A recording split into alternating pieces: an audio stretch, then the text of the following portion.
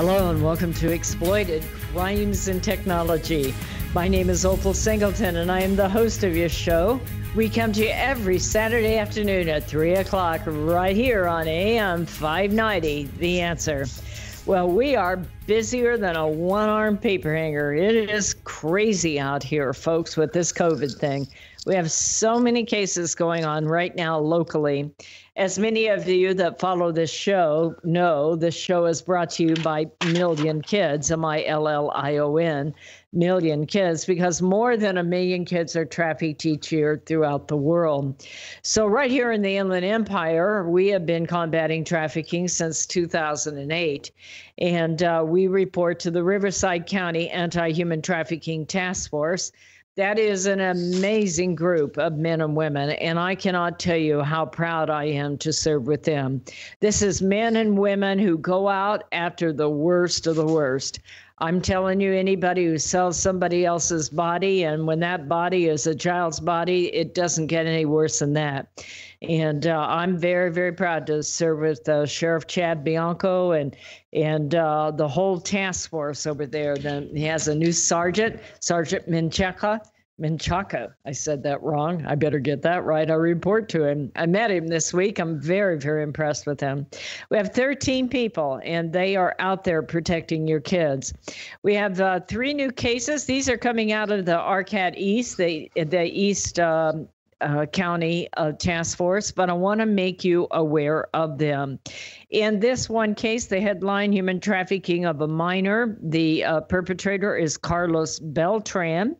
And uh, in his case, he was picked up out in Thermal. He's 50 years old.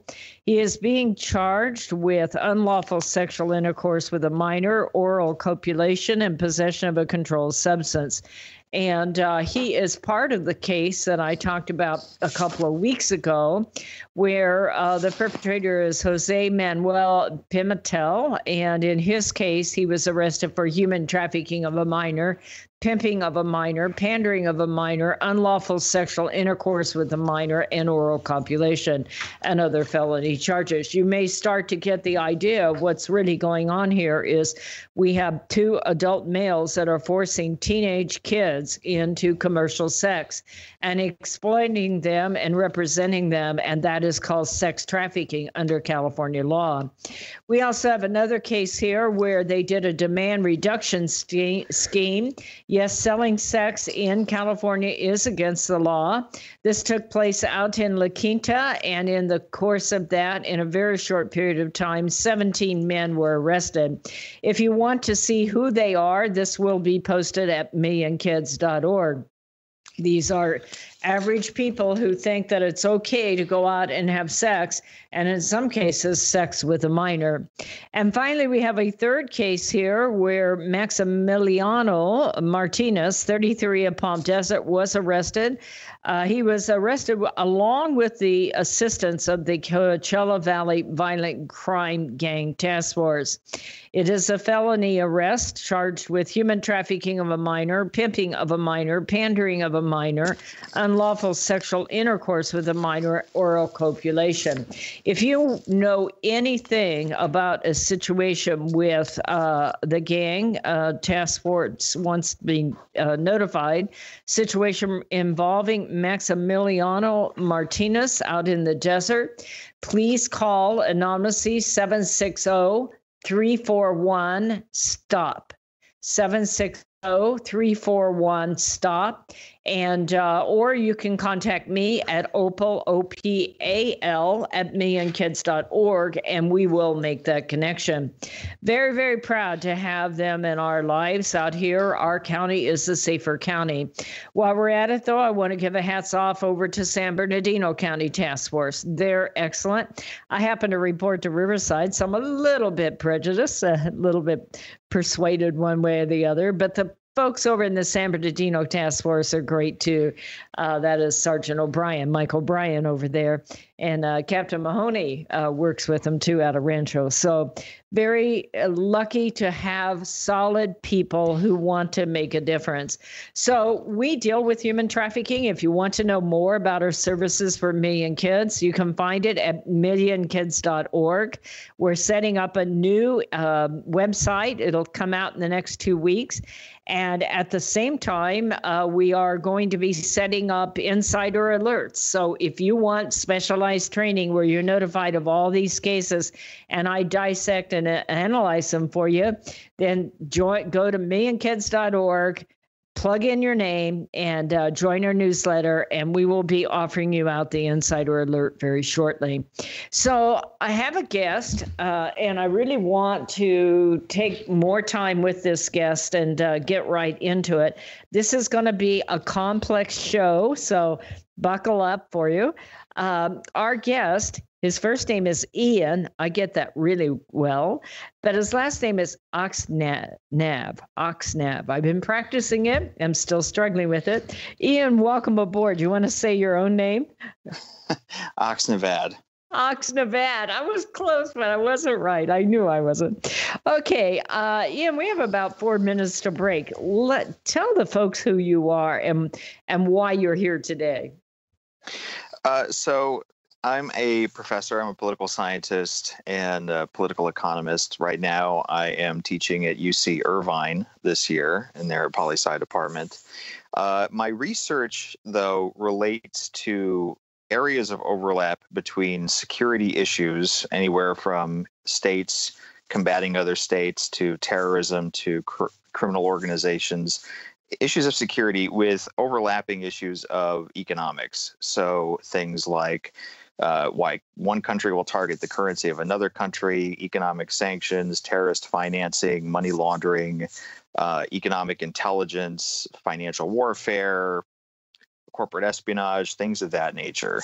And I discovered recently an area of overlap where counter-terrorist financing laws could easily be retrofitted as a model for combating human trafficking and the money laundering that goes along with it. Wow. That that's going to be interesting. I've uh, been tracking human trafficking and money laundering for some time, so uh, I really want to get into it with this show. You you actually started out heavily, and your your background is heavily in combating terrorism, right? Uh, uh that's mainly what you do. Uh, so yeah, I, I, you make it sound a little more glamorous than that. I have no law enforcement background or any military background or anything like that, uh, but I do research it heavily. I did. I've done work on ISIS and how ISIS was using gold to launder money and how it dressed the whole thing up in Islamic law, even though it actually made no sense according to Islamic law the way they were doing it. Uh, and uh, and issues related to that. I've done some work on Somalia and uh, also banks and how banks launder money for terrorist groups. Why certain banks get away with it, and other banks do not. I actually have a book under contract right now with McGill Queen's University Press that should be coming out shortly uh, that examines that very fact. Why certain banks get away with laundering money, even though it's pretty evident that they do get uh, launder money for terrorists. Why they do get away with it, and other banks do not. Mm-hmm. And this is a very in academia anyway this is a very unresearched under researched area. A lot of it's just case studies that don't really build any theory that can guide the understanding of future cases. So what i did was i drew from theories of security studies and theories from economics to try to create theories that can help people like yourself law enforcement intelligence agencies et cetera navigate these crises and these issues as they arise well, uh, you know, I often think that myself. Uh, I would agree wholeheartedly so far with what you've said because of the fact that it's often the pattern of the transaction rather than the details of the transaction. And I see that whether you're talking about money laundering or sex laundering or sex laundering. Uh, sex trafficking related to money laundering or even drug trafficking related to sex trafficking and then wherever money's produced, they need to move it. And uh, the bottom line is is that that uh, it, oftentimes it isn't necessarily the original crime, but the fact that in the end they have a lot of money, and and let's face it, sex trafficking is really about the money. Absolutely, it's uh, any criminal enterprise for profit has to launder money, as opposed to terrorist financing is a little different because unlike criminal proceeds, where you have purely illicit profit that then has to be laundered, quote unquote, in order to become usable in the regular economy. Terrorist financing actually has to do with money dirtying and can encompass clean and dirty money before it goes into a future crime, aka terrorism. I would agree. Folks, this is Opal Singleton and Ian Oxnevad, and uh, we were up against that break, so we're going to be right back. Real estate sales in the Inland Empire are really hot. Sellers and buyers recognize that these low interest rates will not last. Sean and Colleen at Coldwell Banker Armstrong Properties in Riverside are proud to sponsor this show. They are the best in the Inland Empire. They're fair, honest, creative, and they care about you and your situation. If you're in the market to buy or sell a home, call Sean and Colleen at 951 529 4066. Hello, this is Opal Singleton of Exploited Crimes and Technology. Hey, there are many good restaurants in the Inland Empire, but really great restaurants are hard to find. Let me tell you about the Toasted Barrel in Corona. It's a trendy, upscale steakhouse with great pasta and seafood. It's a fantastic choice for birthdays and anniversaries or just that special night out with your loved one and friends. Inland Empire magazine has awarded them Best Restaurant and Brunch for the past three years. The owners, Ed and Shirley, are friendly and attentive to your needs. If you're a prime rib connoisseur, this place is for you. Go ahead and try it out. The Toasted Barrel, located at 1300 El Sobrante Road in Corona. Or Google them at Toasted Barrel to make reservations. I guarantee you, you're going to love it. Be sure and tell Ed and Shirley that Opal sent you. It will be a night you'll never forget. Societal Shift A World Without Borders and a Home Without Walls. This is the most important book you will read this year, especially if you have children or grandchildren. We are living at the most important time in all of history. In 2020, the entire world will be connected by internet, more than 6 billion people coming together. Technology will provide many great advantages for our kids, but a world without borders for our kids is also a world without borders for pimps, predators, pedophiles, cartels, and organized crime. It is a home without walls because 87% of the kids sleep with their phone. It is the greatest societal experiment of all time. Our kids are technology geniuses, and their parents are technophobic. Some are techno impotent. New apps come with no warnings on how a predator will use them against our kids. Advancing technologies like encrypted messaging, vaporware, artificial intelligence, cryptocurrency, and the dark net will challenge law enforcement, teachers, and parents to keep kids safe. Recent research states that 9,000 kids a day are being blackmailed with a naked photo, and 58% will meet their predator. It is indeed a societal shift, and one in which most parents are unprepared. If you are a parent or grandparent, teacher, counselor, or social worker, please take time to read Societal Shift. Only $18.99 plus $6 shipping. Order today at millionkids.org. That's millionkids, M I L L I O N K I D S.org. It'll be the greatest gift you can give your family and yourself. Order Societal Shift today. Million Kids takes checks and credit cards. Opal Singleton, the author, will personally sign the book and send it to you.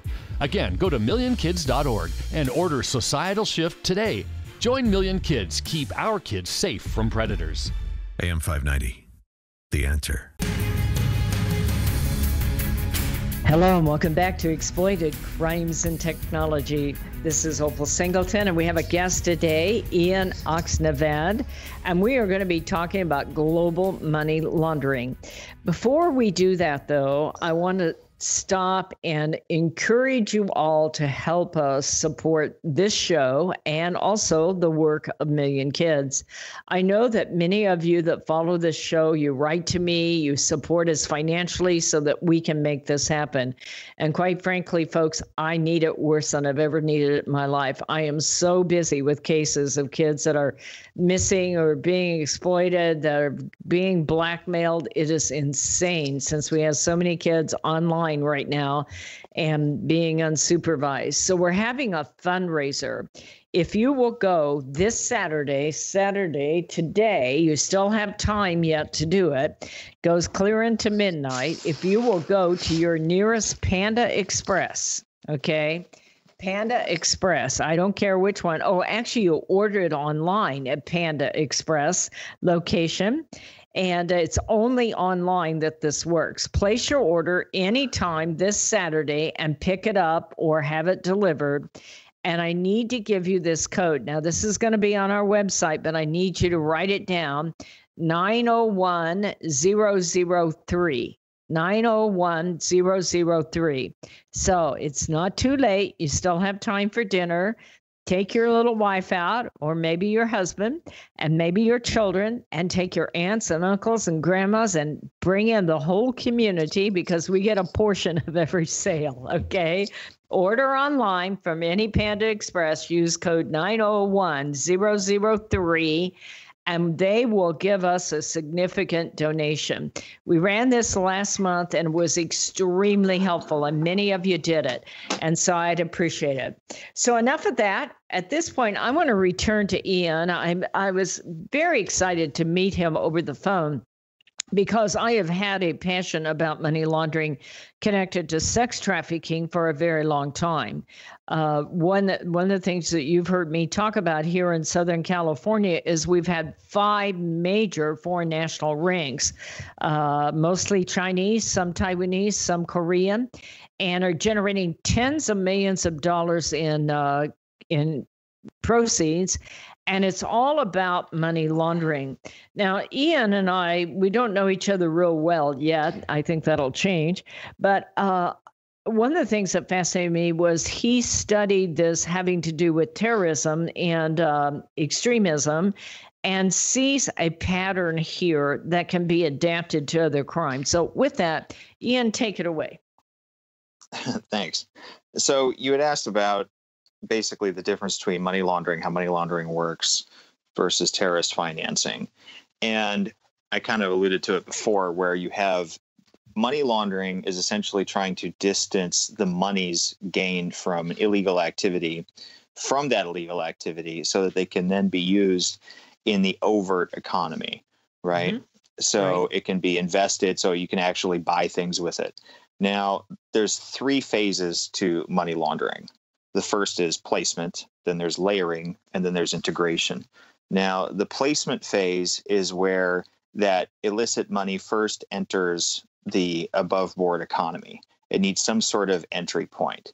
Now, that can be a front business, a cash business, it could be under invoicing or over invoicing for something. And then it gets layered that layering phase is what most people think of when they think of the money laundering phase. And just as a quick aside, it's kind of interesting that one of the apocryphal stories, not 100% sure if it's true, but the story goes that the term money laundering actually comes from Al Capone, who had supposedly these coin laundries that he would launder illicit proceeds from bootlegging through in order to use the money legally.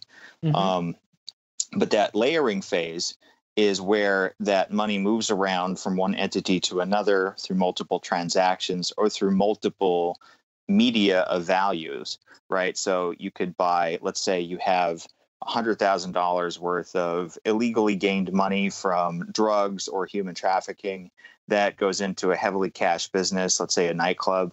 Nightclubs are great. It's kind of a cliche, but nightclubs are great for laundering money because they're high, heavy cash businesses. They're right. fairly ephemeral they don't last very long and you can launder a lot of cash through that have it go onto the books and then move it around through different means. Let's say you buy $100000 worth of art with that money then you can exchange that that can change hands and then you can actually sell that again. Maybe you turn it into casino chips or what have you and then ultimately you can invest that $100000 into real estate and that's where it gets integrated back into the above board economy right? Mm-hmm. So that's those are the three phases. Now, on a on a side note, with money laundering, one of the really dangerous things about it, and you see this in Latin America, is that it can distort aspects of the economy in such a way that it actually hurts legal enterprises or above board actors. So a lot of money, specifically from narcotics in Latin America, gets invested into real estate. mm-hmm. in Central and South America. So what that does is that inflates prices of real estate so that many above board business people or regular people can't afford real estate in a mm-hmm. lot of markets. Right. So it actually has a exponentially detrimental effect to an economy. And of course, it can enable corruption, and then eventually law and order breaks down, and you wind up with exponentially growing problems in terms of security, rule of law, and just public safety. Mm-hmm. Now, money launder money laundering is different from terrorist financing in that the money originating in terrorist financing could be legal or illegal in its origins. So you could have a terrorist gang, for example, that may deal drugs. Um, I think it was Spain. They they had a uh, a jihadist gang, affiliated gang that then radicalized, but they were self funding through criminal activity and they committed some bombings in the early 2000s. And then you have other uh, legal money that can actually come from legal businesses. So, for mm-hmm. example, in Northern Ireland, um, in the past, security firms have worked with the IRA, and these are perfectly above board, you know, enterprises that is a legal means of potentially funding terrorism. You also have mm-hmm. nonprofits, charity organizations, or even state funding that can come through different means. Um, in one case, Iran funneled money to Palestinian terrorist groups through China. And the way that they did it was pretty ingenious. The money went through China and then was used to buy toys. The toys were then shipped to the Palestinian territories. And then those toys were then auctioned off for cash. So mm-hmm. the value actually uh, changed hands, but not any real money. And mm-hmm. doesn't necessarily show up on books unless you have surveil the entire chain of value. Uh, but the the money can come from above board businesses. It can come from charities. It can come from illegal activity, and that money mixes together and then goes to a future crime. Mm-hmm. Does that make sense? Is that and is that when integration takes place in? Well, with terrorism, it's it's different because the the cost terrorism works differently in that you're dealing with if you think of criminal organizations that are profit motivated they're much more like corporations. Terrorist groups are much more like nonprofits. There can be a lot of money in it, but they're actually not after an economic goal. They're actually after an intangible economic goal. They're after a political goal. Mm-hmm. Or potentially mm-hmm. a religious goal. So uh, it can be integrated, and then that money can be used to facilitate future operations, or it can be used to procure weapons for an attack. Mm-hmm. When uh, we come back from the break, I want to talk about the case of Jerry Wang out of uh, San Gabriel. It was a five person uh, sex trafficking ring that ran from uh, Ventura all the way out here in the Inland Empire, even out in the desert, and down to San Diego. And they literally had 50 different bank accounts and nine different banks, and they were buying and selling real estate to launder all the money. This is all taking place through sex trafficking as these Chinese and uh, Korean, South South Korean women were brought in and uh, put out for prostitution in our communities. And sex buyers participated. They they paid the money, and then all that money came together and ended up being bought and sold through real estate. And that was my first encounter with sex trafficking and money laundering. Uh, and so basically, what you're saying is real estate a real estate transaction is just part of the cleaning process for something like that. Yes, or the integration. Now, there is a way to retrofit strategies to combat terrorist financing to combat human trafficking.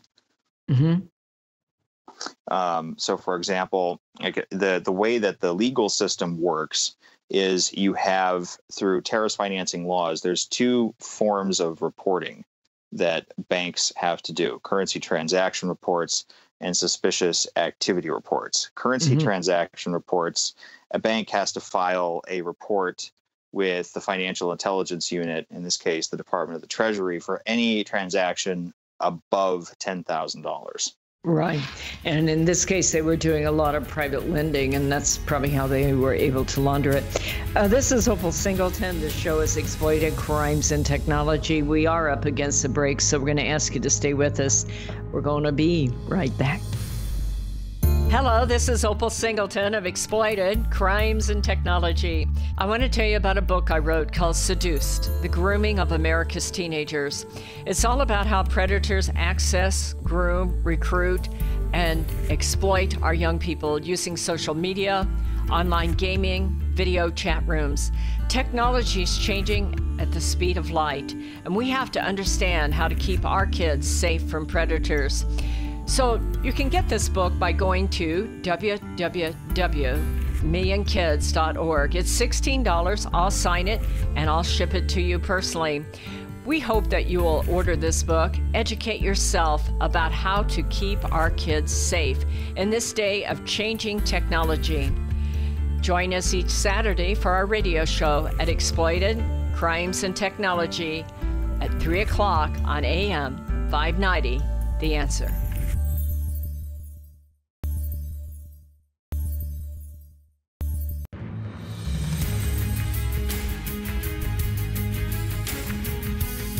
Hello and welcome back to Exploited Crimes and Technology. My guest today is Ian Oxnevad, and he is uh, in Southern California. He is absolutely an expert. Uh, he is a political scientist and political economist teaches at UC Irvine, which I just did myself this week. He has a PhD in political science from University of California, an MA in national security studies, and a BA in Arabic. Oh my. His research focuses on overlapping issues of economic and security and area threat finance. So before we go too much farther on this, I w- we were talking about a case um, when we were offline here, the case that I started telling you about of Jerry Wang out of um, San Gabriel. Now, literally, they were taking back loans between private parties and like that and buying and selling real estate. There are three other cases in which money laundering took place because of the size of the sex trafficking rings in our community. There is uh, the way uh, the case of Sophia Navas her case, they had over 20,000 sex ads. And again, they were bringing in women from China and Korea and putting them in massage parlors and moving them across the country for private sex ads. When you have 20,000 sex ads, okay, that is a whole lot of sex selling. Easily an ad can generate 15 20 30 40 customers. So these are huge rings. If you get nothing else out of this today i want you to see in the bottom line this is all about making money taking your money the people who are buying the sex and in many cases in another case that we had a thai case out of la they were all the money was going back to bangkok and belgium these are big, big money cases. You may seem like it's just a small little massage parlor in your area, but it's all about abusing other people to make a lot of money.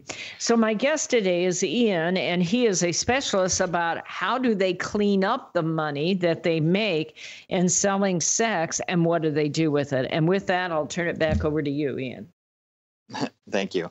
Um, so, as I was telling you briefly before about how money laundering works, the way that there's actually an entire surveillance system in the financial industry as a result of multiple laws that have been passed since the Bank Secrecy Act of 1970. And basically, there's two aspects of it. One is the reporting aspect, and the other is the intelligence aspect. Now, the reporting aspect of it, any amount above $10,000, a bank or financial institution has to file something called a currency transaction report.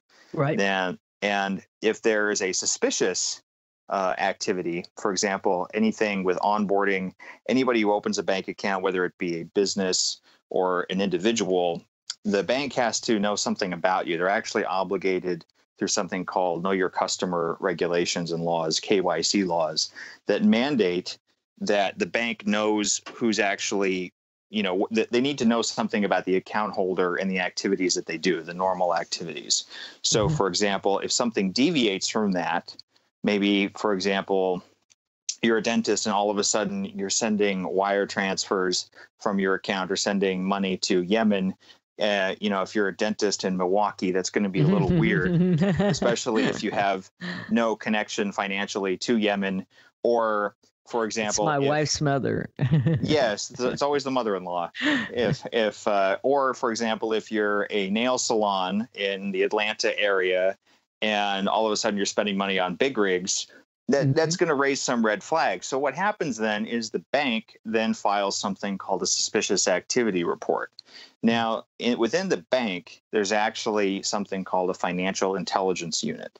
Mm-hmm. Uh, now, the financial intelligence unit is basically just an office within the bank that's made up of compliance officers who then manage and watch for all of this suspicious activity. They check things for uh, if see if an entity is sanctioned on a sanctions list or if somebody uh, might be on a terrorist watch list or something like that, or if something's just out of the ordinary. They file these reports to the government's financial intelligence unit. In this case, in the US, it's the Financial Crimes Enforcement Network that's at mm-hmm. the Department of the Treasury.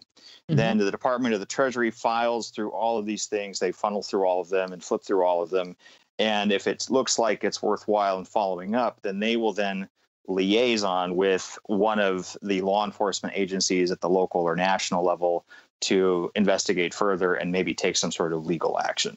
Mm-hmm. So that's how that system works. So most people aren't aware of it. Let me interrupt you a second sure. here. Um, I don't want you to lose your train of thought, but as I was reading all this at 5 a.m. this morning, I thought to myself, you know, we've all moved to uh, using our cell phones to make deposits.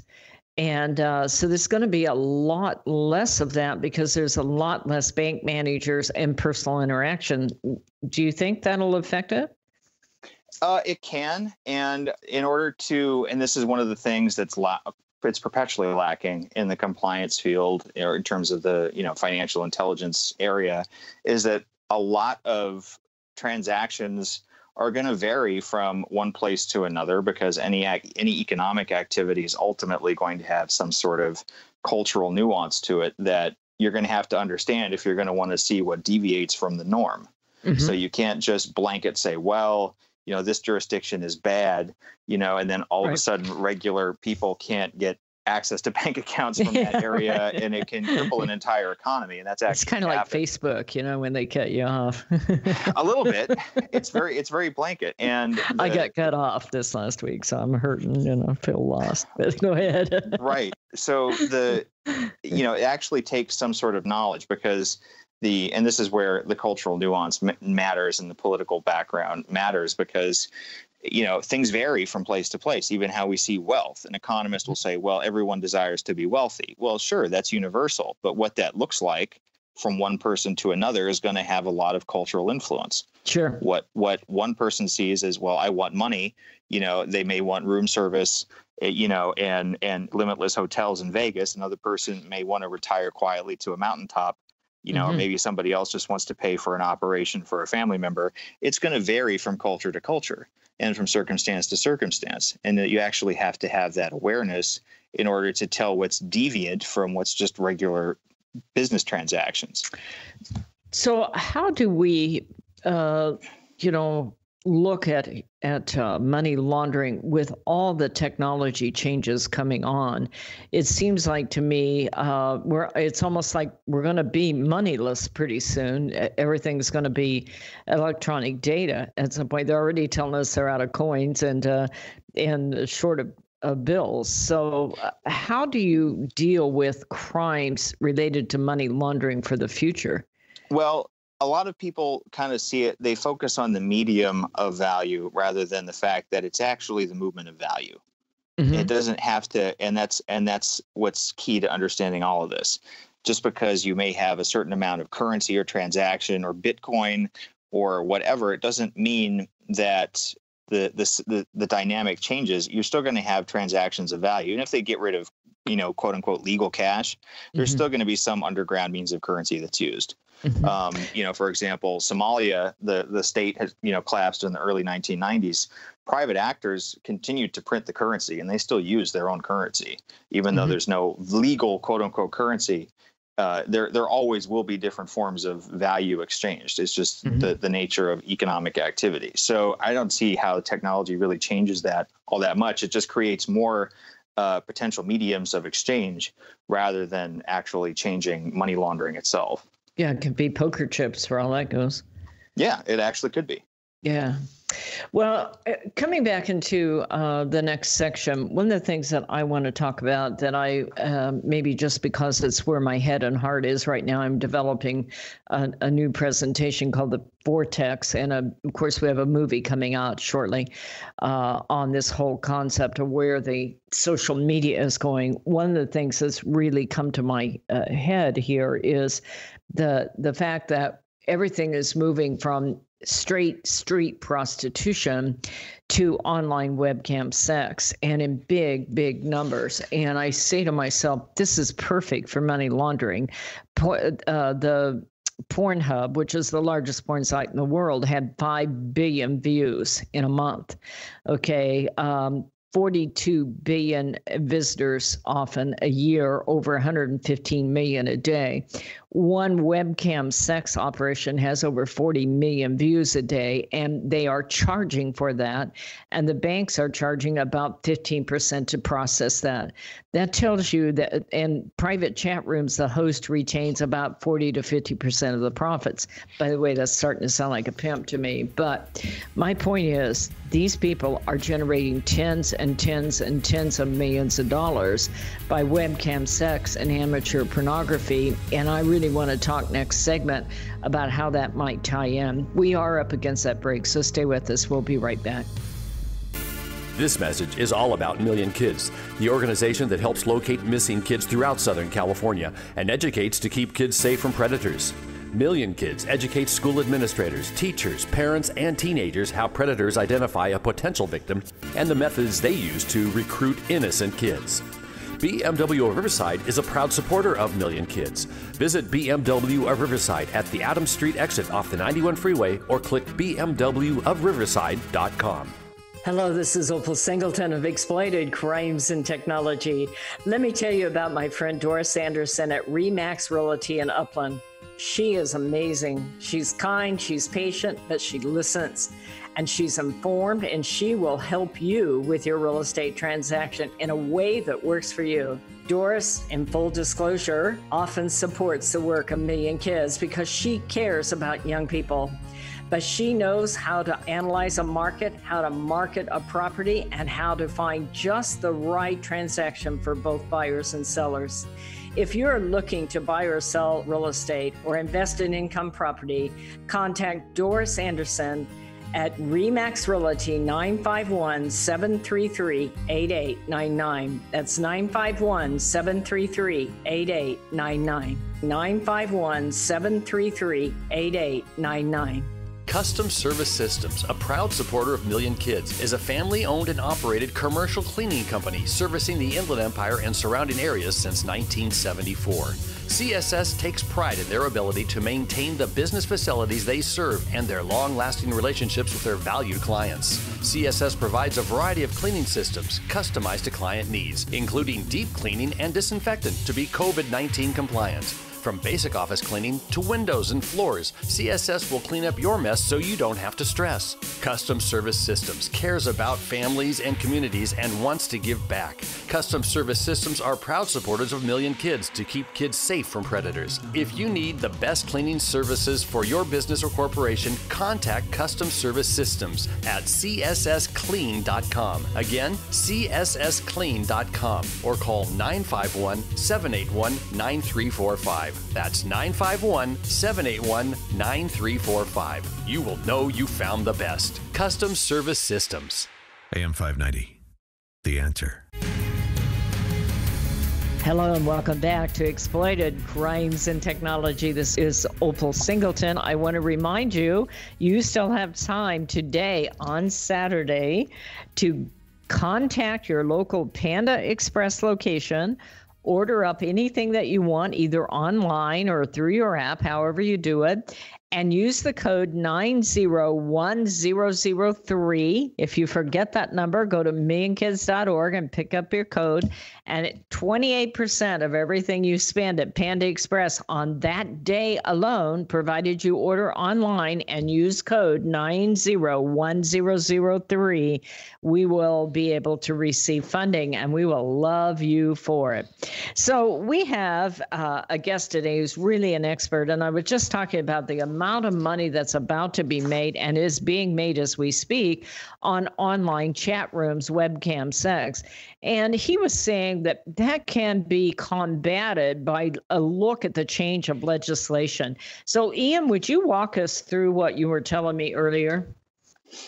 Yeah, sure. So, with the Anti Terrorism Act of 1990, basically what happened was with any victim or the family family members of victims of terrorism can sue in civil court for civil liabilities any financial entity or facilitating entity of terrorism.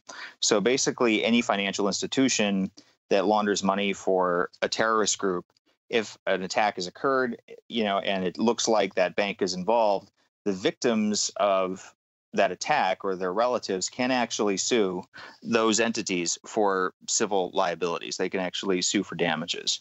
Now, all that needs to be done in order to combat human trafficking is to replicate that for human trafficking. And mm-hmm. the reason it's actually should be more effective, hypothetically, uh, for this is because you have more types of actors involved. So if you're laundering money for terrorism, you may just have a bank or a couple of businesses involved, but human trafficking is logistically way more complicated because you're talking about living people. You're mm-hmm. talking about housing them, feeding them, moving them. Uh, right. You know, you could have trucking companies, hotels, casinos, uh, websites such as Pornhub or any of these others. If you retrofit the legislation to combat terrorist financing for human trafficking and open them up to civil liabilities, the survivors of human trafficking or their relatives potentially could sue for damages, and that would disrupt the logistical support system that human trafficking relies on. So, if you look at uh, the current State Department numbers of the most recent ones, we have about 25 million people in the world that mm-hmm. live in, a, in an actual state of slavery or mm-hmm. a condition of slavery. That's about twice the population of Portugal or Greece. Uh, mm-hmm. that's a that's a huge disruption to the illicit economy if you change those laws just in the United States alone. Wow. You know, I, I suddenly have visions of how that might look. I, I saw an advertisement I can't remember where I was, whether I was in California or I was traveling, but it was against uh, uh, like a class action suit against the Catholic Church and the victims of sexual abuse that had been reported. And so, really, uh, what you're talking about is modifying the money laundering uh, legislation so that the victims, wherever they're at, uh, can sue and and gain some compensation. Yes, and not just for the end user. You're not just talking about going after the actual slavers themselves or the actual people doing the buying. You're actually talking about suing all of the entities that are involved in supporting it so that they do not support it in the future. So That's such an important point, Ian. Uh, I, I, mean, I because what often happens, just like in the case of uh, Sophia Navas, she's a very large ring, but she's now in prison. I'm sure her assets have been compromised and like that. But that money is going back to China. Um, in the case of the Thai deal, that money's going back to Bangkok. And in the case of many of our drug and and uh, sex trafficking deals here, it's going back to the Mexican cartels. Uh, but there are banks and there are facilitators that make that happen. Uh, yes, and you if you drive up the cost, the risk of any hotel chain or trucking company or whatever that could potentially support human trafficking, even if they're not actively involved in the end use or the actual kidnapping or anything like that, that's going to drive up the cost of the traffickers, mm-hmm. and it mm-hmm. will make it more expensive for the ultimate end product. You can't just attack it morally. You actually have to attack this problem economically to make it less economically viable. And what's interesting about the terrorist financing laws and the money laundering laws is that since 9 11, most countries in the world have pretty much adopted a variation of the US law. And mm-hmm. because mm-hmm. of its the US's size and its financial industry, a lot of transactions they may think have nothing to do with the US actually pass through the US.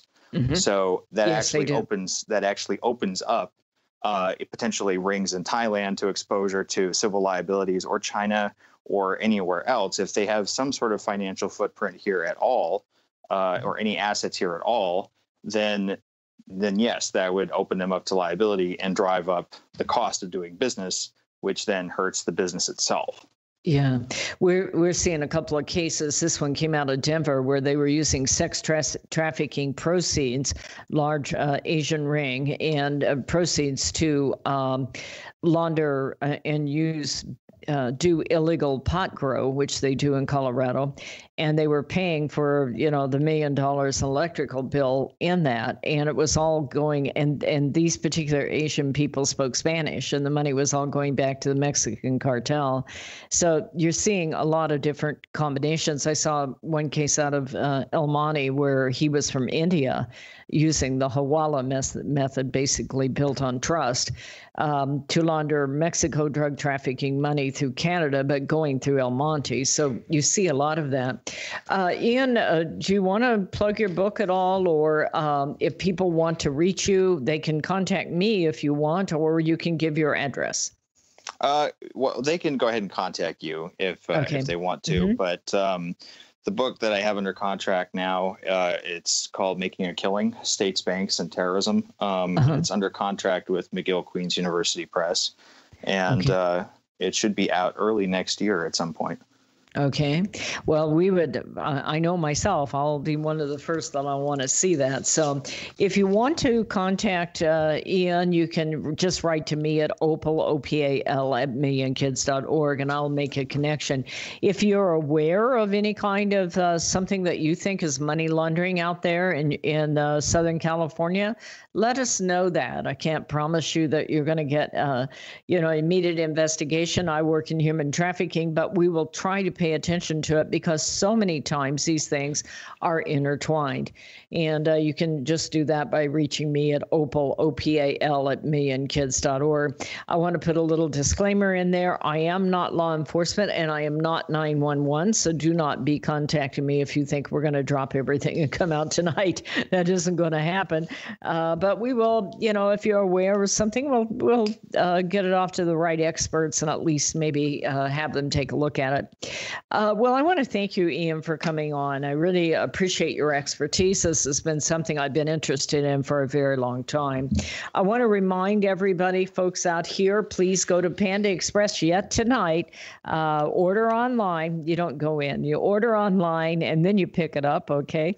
If you're from California, you don't get a choice anyway. They're not going to allow you that choice. anyway, so order online, use coupon code 901003, and we will receive 28% of the cost of your dinner, and we appreciate it. If you want to support the work of Million Kids, I'll tell you, you would just be my hero. These are the toughest days we've ever had. Uh, we've been nine months now without making a live presentation. I am zooming to a point where, I mean, all day long, sometimes seven hours a day, I zoom now. And we're still training lots of people, and we have a lot of need for that we need to be able to support to help some parents, to get some guidance out there, to continue to educate. Go to millionkids.org. The other thing I would share with you is please go to millionkids.org. If you're there, hit that donate button give us your name. Uh, you may have heard that Million Kids was one of those organizations that Facebook decided to take off the air, and they took me off personally, so I don't get to talk to my family anymore. I'm going to have to look at them in person now. you know how how novel idea that is. Anyway, uh, we don't know why. Everybody wants to know why. If I knew why, I'd tell you, but nobody told me. Uh, we think it's probably because we promoted prop yes on Proposition 20. We don't know. Maybe it's because we combat child pornography and we got caught up in an algorithm, but we are off Facebook. We do have a new page. Uh, it has just a small number of followers. If you want to go to Million Kids on Facebook, look us up. We are not the rock band, we are the nonprofit. And give us your name, sign up, like us, and like that. But for sure, come to our website. We're taking all of our education in house, and we want to start Million Kids Insider. Ian, thank you for joining us. You're a wealth of knowledge, and I so much appreciate you. Thank you for having me. Okay, folks, put your arms around your kids. Tell your spouse you love them. Tell your kids you're proud of them. See you next Saturday at 3 o'clock. Societal Shift A World Without Borders and a Home Without Walls. This is the most important book you will read this year, especially if you have children or grandchildren. We are living at the most important time in all of history. In 2020, the entire world will be connected by internet, more than 6 billion people coming together. Technology will provide many great advantages for our kids, but a world without borders for our kids is also a world without borders for pimps, predators, pedophiles, cartels, and organized crime. It is a home without walls because 87% of the kids sleep with their phone. It is the greatest societal experiment of all time. Our kids are technology geniuses, and their parents are technophobic. Some are techno impotent. New apps come with no warnings on how a predator will use them against our kids. Advancing technologies like encrypted messaging, vaporware, artificial intelligence, cryptocurrency, and the darknet will challenge law enforcement, teachers, and parents to keep kids safe. Recent research states that 9,000 kids a day are being blackmailed with a naked photo, and 58% will meet their predator. It is indeed a societal shift, and one in which most parents are unprepared. If you are a parent or grandparent, teacher, counselor, or social worker, please take time to read Societal Shift. Only $18.99 plus $6 shipping. Order today at millionkids.org. That's millionkids, M I L L I O N K I D S.org. It'll be the greatest gift you can give your family and yourself.